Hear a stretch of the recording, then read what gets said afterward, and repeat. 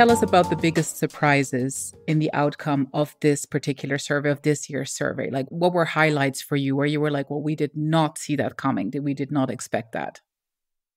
The thing that I was both surprised and disappointed about, if I'm honest, was the still low percentage of chief executives of family businesses who were female.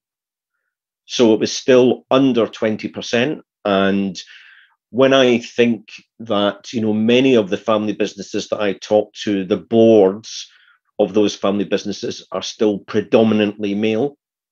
And therefore, I think a big challenge for the family business marketplace is to really embrace the diversity and inclusion agenda and take some you know really positive steps to improve the representation of women on, on the boards yeah, if, if I can um, build on that, this was also for me and for uh, the research team at STEP Project Global Consortium also a surprise and also a bit of disappointment, if I can use that word, because we were really expecting to get a higher threshold.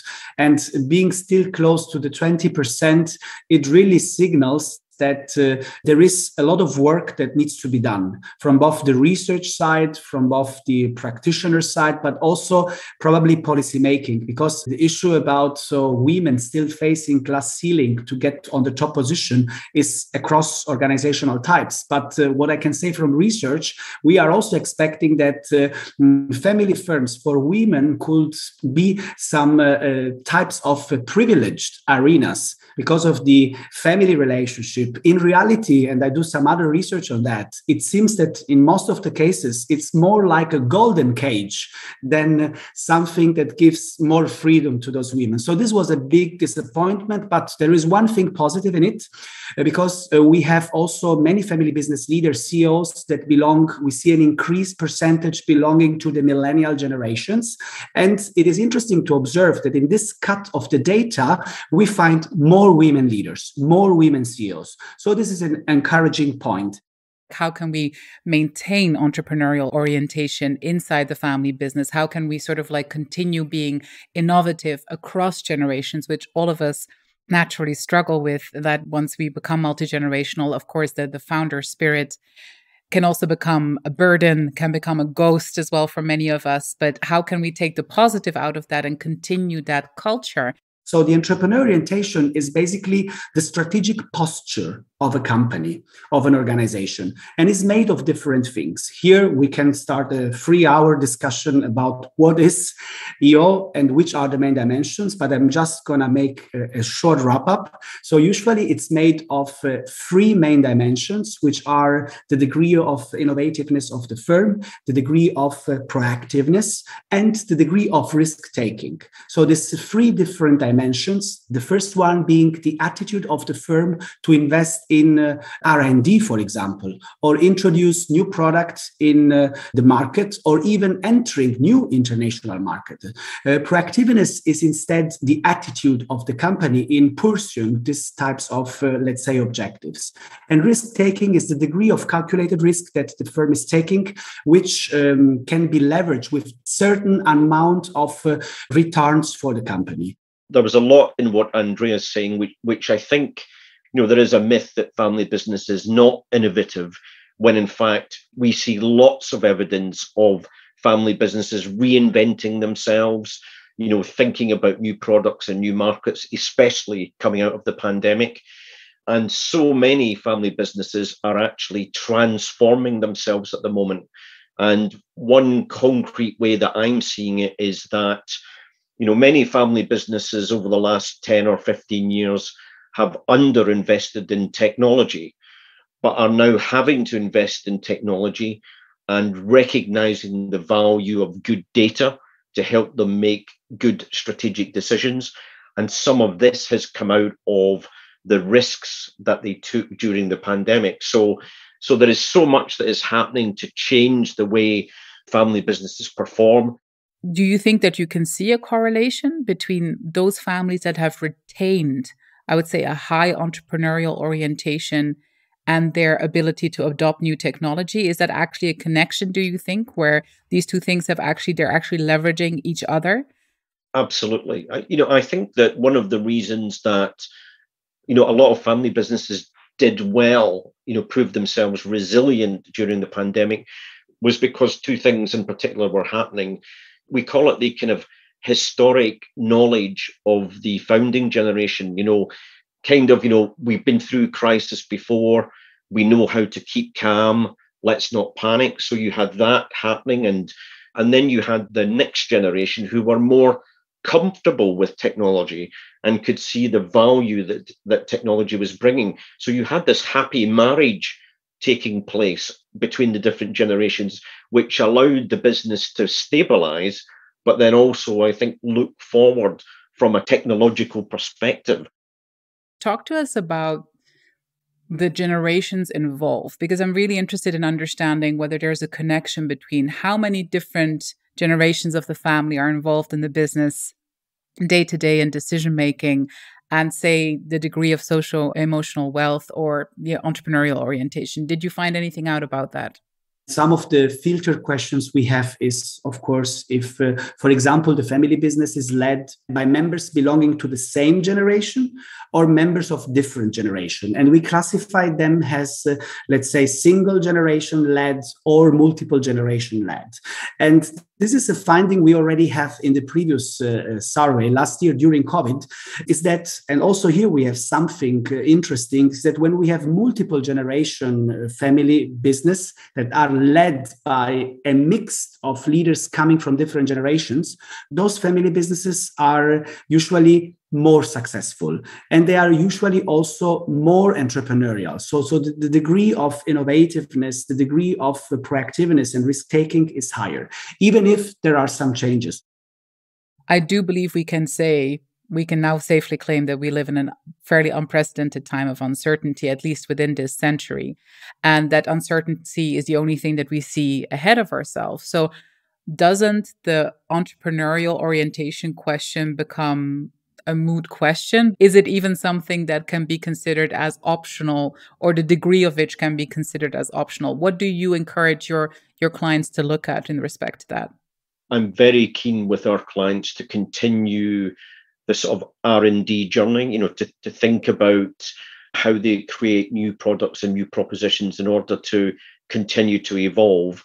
And just give you one concrete example, you know, I, I have a number of family businesses um, that are in the construction sector. And the construction sector doesn't make huge margins.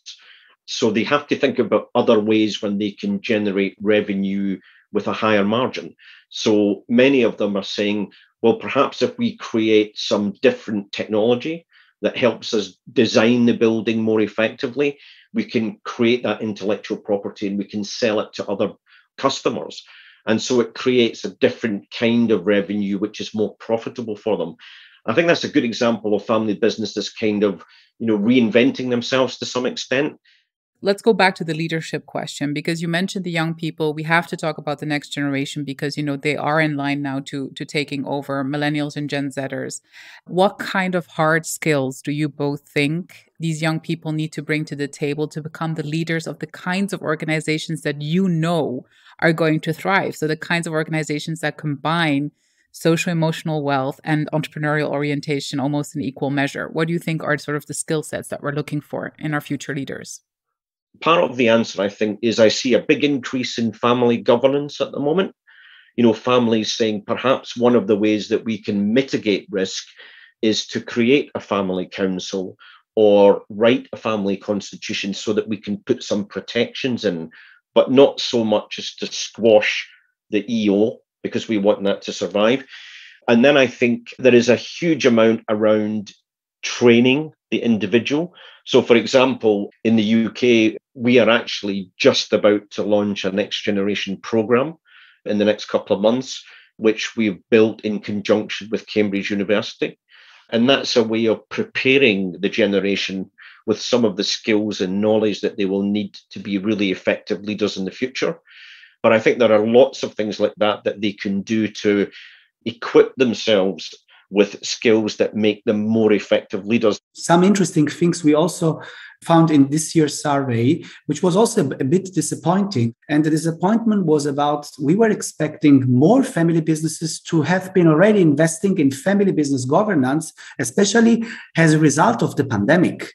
So, absolutely, what Tom is saying, I think it's of uh, utmost importance in order to empower also next generation member to get into this game and especially to be acknowledged and also getting accountability. And then I think that um, connecting a bit to innovation, I've seen also different companies that, especially as a result of, of the pandemic and the challenges they had, they realized that uh, the ideas coming from the new generation, the knowledge of uh, multi multiple languages, the ability to organize meetings online. Now we do it easily. But uh, at the beginning of the pandemic, it was not an evident thing for every type of organization, and especially some of the traditional family businesses.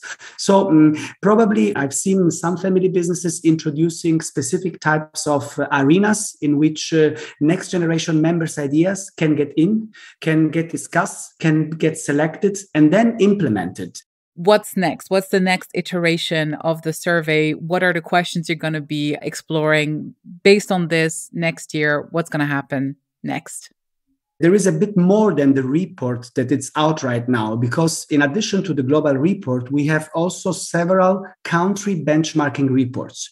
So it means that if you if there is someone from colombia who is interested in uh, learning a bit more about what happens in colombia in uh, relation to the other world regions people can download this on both the KPMG uh, private enterprise website, also on our website. So this is the first step, which is already there.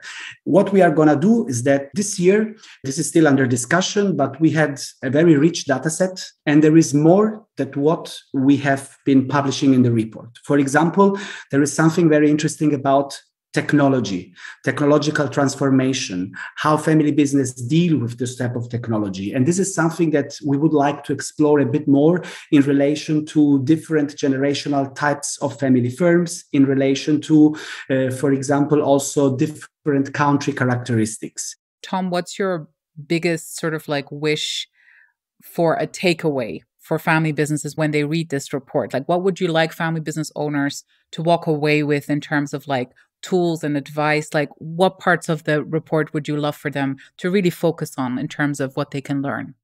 So, so I, I think one of the great things about the report is that it does provide you with these four sort of examples of types of businesses and where they're performing or not performing.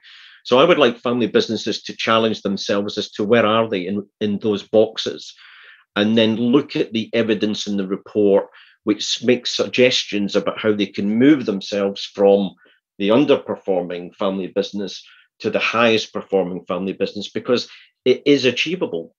And I think, you know, that's the message I'd like to leave people with, which is there are things that you can do to improve the leadership and the welfare of all the stakeholders in the business, which can really affect your overall performance.